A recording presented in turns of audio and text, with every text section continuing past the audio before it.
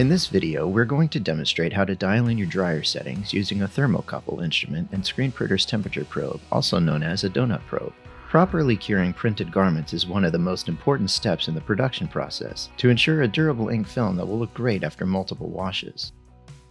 A screen print kit is available, which includes a thermocouple instrument with a digital display and a donut probe with a 15 foot cord capable of reading a max temperature of 400 degrees Fahrenheit, 205 degrees Celsius. If you have a longer dryer than 15 feet, an extension is available for purchase. The advantage of using a donut probe over other temperature readers, for example infrared thermometers or heat strips, is the ability to read the actual ink film temperature throughout the heating chamber instead of just one surface reading.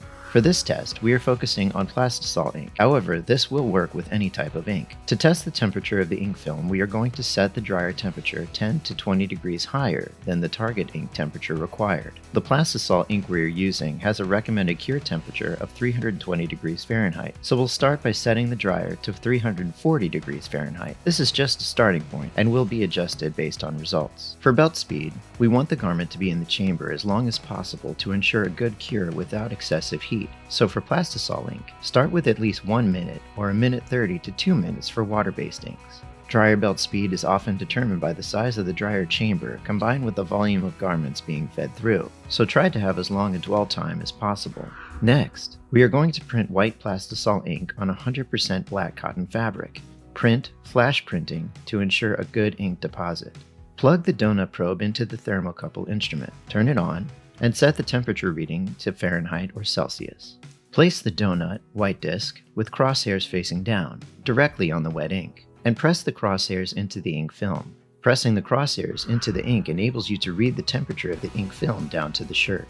Let the printed garment and donut pass through the dryer while holding the thermocouple instrument and monitor the temperature.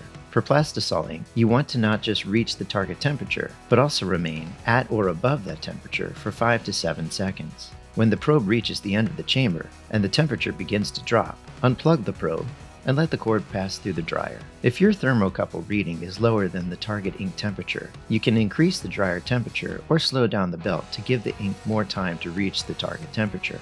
Once you have the settings dialed in, you can run this same test on 100% polyester, fleece, blends, or any other fabrics or inks you print often. Polyester and polycotton blends contain less moisture than 100% cotton and will heat up much faster in the dryer, allowing you to lower the temperature. Document all of the results and post the setting on or near the dryer for daily reference. Now that we have the ideal settings for curing the ink, we can check the consistency of the dryer chamber by testing the ambient temperature. This procedure is not recommended for an infrared dryer, as they do not heat the air. Plug the donut probe into the thermocouple instrument, turn it on, and set the temperature reading to Fahrenheit or Celsius. Next, place the donut white disc on the dryer belt with the metal crosshair wires up, as facing down will read the belt temperature. Allow the probe to pass through the dryer while holding the thermocouple instrument and record the temperature in 5 second increments. This should be done on the left, right, and center of the conveyor belt to determine if the dryer is heating consistently. Document the results and save them for future reference. This test can be performed as a daily maintenance procedure to ensure the dryer is functioning properly and heating consistently.